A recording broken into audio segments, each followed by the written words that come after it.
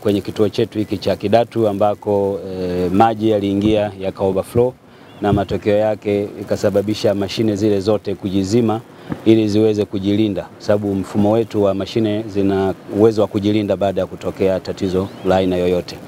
Kwa hiyo shirika letu la umeme nchini limechukua hatua kubwa sana toka jana usiku, kwanza kuyaondoa yale maji yote ambayo yamesababishwa na uwepo wa mvua nyingi ukanda huu. Mvua hizi zimesababisha maji kuja kwa wingi kupita kiasi, na kwa hiyo kumetokea hiyo overflow. Kwa hiyo vijana wamefanya kazi kubwa usiku kucha e, kuyaondoa yale maji na kwa sababu yale maji yalivyoingia, kwa vyovyote vile lazima yangeingia kwenye mitambo. Kwa hiyo maji yakachanganyika na oil yoko kwenye mitambo, kwa hiyo akafanya kazi nyingine ya pili ya kufungua ile mitambo yote, kusafisha na kuweka oil nyingine na kuwasha upya. Tunafurahi kwamba e, wamefanya kazi kubwa, na hivi tunavyozungumza, sehemu kubwa ya nchi yetu umeme umerejea, lakini bado kuna mashine moja ambayo bado wanakamilisha matengenezo ili turudi kwenye hali yetu ya kawaida. Nachotaka kusema hapa watoa wasiwasi wa Tanzania kuwa e, changamoto tuliyoipata ni changamoto ambayo ni kwa sababu ya mvua kubwa ambazo tunaendelea kuzipata, na sisi tunachukua kila aina ya tahadhari kuhakikisha kwamba hatupati madhara zaidi e, kila wakati kunapotokea jambo hili,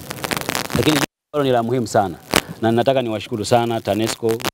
zi, e, mtendaji wa shirika letu la taifa TANESCO e, mhandisi Boniface Nyamuhanga. Yeye mwenyewe baada ya tatizo hilo kutokea amesafiri usiku usiku kuja hapa Kidatu kuja kuhakikisha kwamba timu yote inakuwepo, na tukakubaliana jana usiku kwamba